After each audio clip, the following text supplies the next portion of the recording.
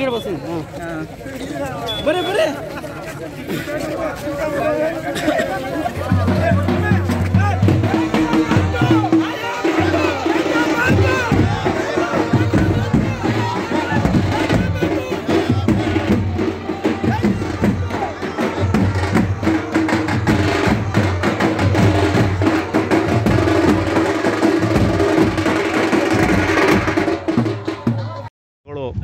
ಇವತ್ತು ಏನು?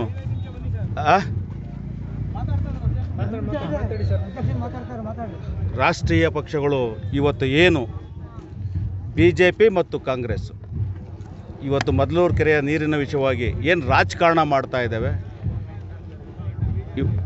ರಾಜಕಾರಣ ಮಾಡ್ತಾ ಇದ್ದಾವೆ? ಇವತ್ತು ಅವರಿಗೆ ಮದ್ಲೂರು ಕೆರೆಗೆ ನೀರು ಬರಬೇಕಾಗದ್ದು, ಬರಬೇಕಾಗಿಲ್ಲ. ಇವರು ಎರಡು ಸಾವಿರದ ಇಪ್ಪತ್ತ್ಮೂರರ ಚುನಾವಣೆ ಲಾಭಕ್ಕೋಸ್ಕರನೇ ಇವರು ರಾಜಕೀಯ ಮಾಡ್ತವ್ರೆ. ಇವರು ನಾಚಿಗೆ ನಾಚಿಗೆ ಆಗಬೇಕು ಇವರಿಗೆ. ಹಿಂದೆ ಜನತಾ ಪಕ್ಷ, ಜನತಾ ದಳದ, ಹಿಂದೆ ಏನು ಕುಮಾರಸ್ವಾಮಿ ರಾಜ್ಯದ ಮುಖ್ಯಮಂತ್ರಿ ಆಗಿದ್ದರು ವನಗೊಂಡನಹಳ್ಳಿ ಗ್ರಾಮ ವಾಸ್ತವಕ್ಕೆ ಬಂದಾಗ ಶಿರಾ ತಾಲೂಕಿನ ಶಾಸಕರಾದ ಸತ್ಯನಾರಾಯಣ ಸತ್ಯನಾರಾಯಣ ಸಾಹೇಬರು, ಮದ್ಲೂರು ಕೆರೆಗೆ ಕರ್ಕೊಂಬಂದು ನನಗೆ ಮಂತ್ರಿಗಿರಿ ಬೇಡ.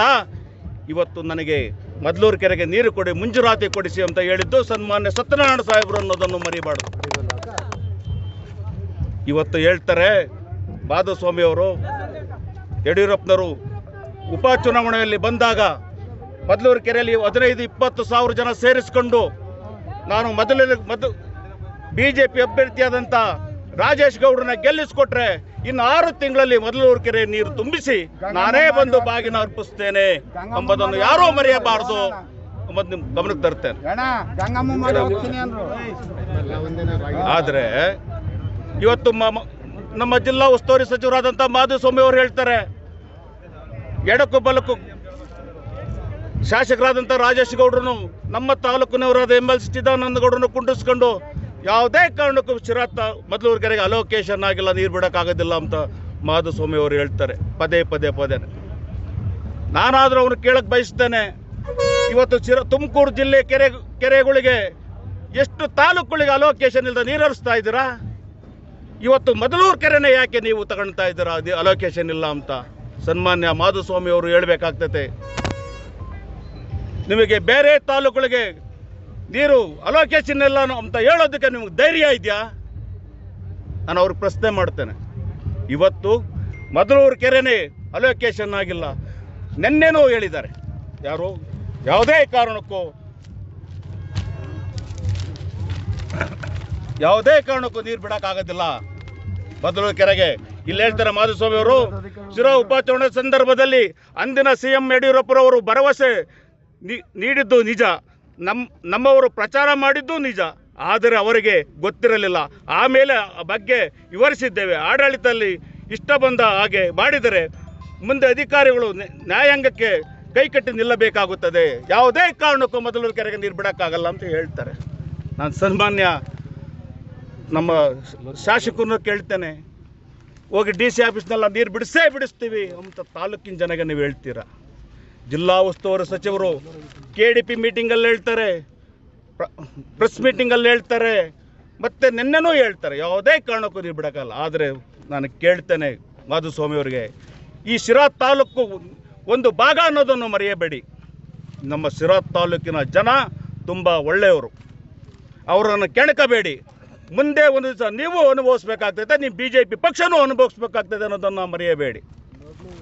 ಆದರೆ ನಾನು ಕೇಳ್ತೇನೆ ಸನ್ಮಾನ್ಯ ಜಯಚಂದ್ರ ಸಾಹೇಬರಿಗೆ, ಹತ್ತು ವರ್ಷ ಮೊದಲೂರು ಕೆರೆ ರಾಜಕಾರಣ ಮಾಡ್ಕೊಂಬಂದ್ರಿ.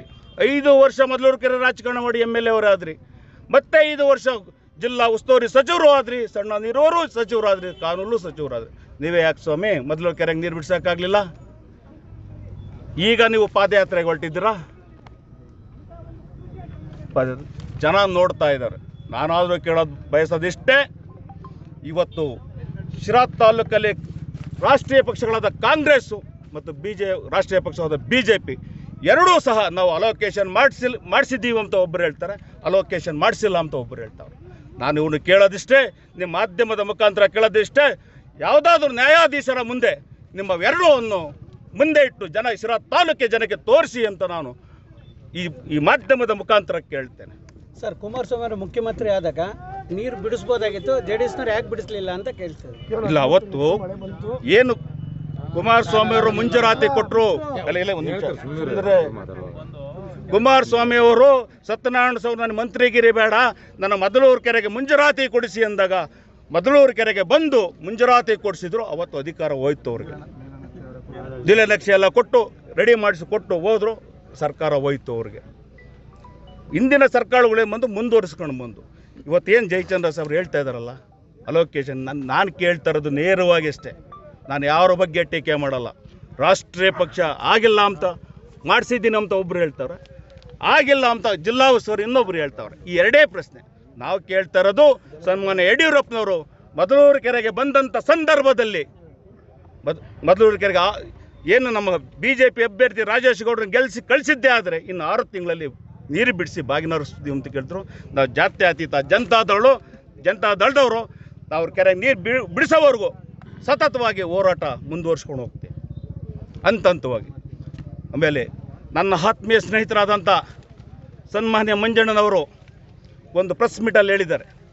ನಾನು ಆದರೂ ಅವರಿಗೆ ಕೇಳಕ್ಕೆ ಬಯಸ್ತೇನೆ, ನಮ್ಮ ಆತ್ಮೀಯ ಸ್ನೇಹಿತರು. ಜೊತೆಗೆ ಬೆಳೆದು ಬಂದಂಥವರು ಆದರೆ ಇದೇ ಪಕ್ಷದಲ್ಲಿ ಬೆಳೆದು, ಇದೇ ಪಕ್ಷದಲ್ಲಿ ಹಂತಂತವಾಗಿ ಮೇಲಕ್ಕೆ ಬಂದು. ಇನ್ನು, ಇನ್ನೊಂದು ಪಕ್ಷಕ್ಕೆ ಹೋಗಿ, ಇವತ್ತು ಹೇಳ್ತಾ ಇದ್ದೀರಾ, ಈ ಪಕ್ಷಕ್ಕೆ, ಈ ಜಾತ್ಯತೀತ ಜನತಾದಳಕ್ಕೆ ಅಭ್ಯರ್ಥಿಗೆ ನೆಲೆ ಇಲ್ಲ. ಈ ಪಕ್ಷಕ್ಕೆ ಕ್ಯಾಂಡಿಡೇಟೇ ಇಲ್ಲ. ಕ್ಯಾಂಡಿಡೇಟ್ ಇಲ್ಲ. ಆದರೆ ನಾನು ಅವ್ರಿಗೆ ಹೇಳ್ತೇನೆ, ಈ ಪಕ್ಷಕ್ಕೆ ಪ್ರಾಮಾಣಿಕ ಕಾರ್ಯಕರ್ತಿದ್ದಾರೆ. ನಮ್ಮ ಜೆ ಪಕ್ಷಕ್ಕೆ ಪ್ರಾಮಾಣಿಕ ಕಾರ್ಯಕರ್ತರಿದ್ದಾರೆ. ಆದರೆ ಆದರೆ ನಮ್ಮ ಪಕ್ಷದ ಒಬ್ಬೊಬ್ಬ ಕಾರ್ಯಕರ್ತನಿಗೂ, ಮುಖಂಡನಿಗೂ ಅಭ್ಯರ್ಥಿ, ನಮ್ಮ ತಾಲೂಕಿನವರು ಅಭ್ಯರ್ಥಿ ಆಗೋದಕ್ಕೆ ಯಾವ ಸಾಮರ್ಥ್ಯ ಇದೆ ಅನ್ನೋದನ್ನು ಮರಿಬಾರ್ದು ಮರಿಬಾರ್ದು. ಆದರೆ ಈ ತಾಲೂಕಿನ ಅಭ್ಯರ್ಥಿ ಆಗ್ತಾರೆ, ಈ ತಾಲೂಕಿನ ಇಪ್ಪತ್ತ್ಮೂರ ಎರಡು ಸಾವಿರದ ಇಪ್ಪತ್ತ್ಮೂರರ ಚುನಾವಣೆಗೆ ಜಾತ್ಯತೀತ ಜನತಾದಳ ಗೆಲ್ತದೆ ಅನ್ನೋದನ್ನು ಮರೆಯಬಾರದು ಅಂತ ಈ ಮೂಲಕ ಮಾತಾಡ್ತಾರೆ